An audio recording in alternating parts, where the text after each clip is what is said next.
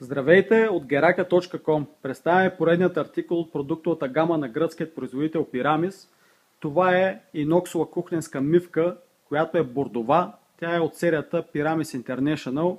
Размера е 100 на 50 см, което е много специфично при бордовите мивки, тъй като по-голямата част от тях са на 60 см. Като габарита тази е на 50, което я отличава доста от останалите варианти предлагани от производителите. Виждате как изглежда самия артикул. Мивката състои от едно корито и голям отседник. В случая сме я комбинирали с смесител, за да може да се добие представа за едно такова съчетание. Като мивката е заводски неразпробита, тя няма отвори, ще ви покажем. Смесителя просто е поставен отгоре. Виждате, в...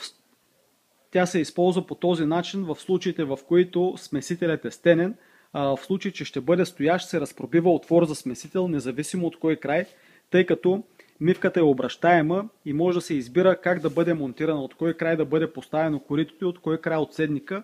В зависимост от това се разпробива отвора за стояща кухненска батерия. Мивката е комплектована с сифон горна и долна част, вълвида към преливника. Ето тук в този край поставен преливника и не се налага да се закупува нищо допълнително за монтажа и експлуатацията й. За повече информация и възможности за избор посетете geraka.com.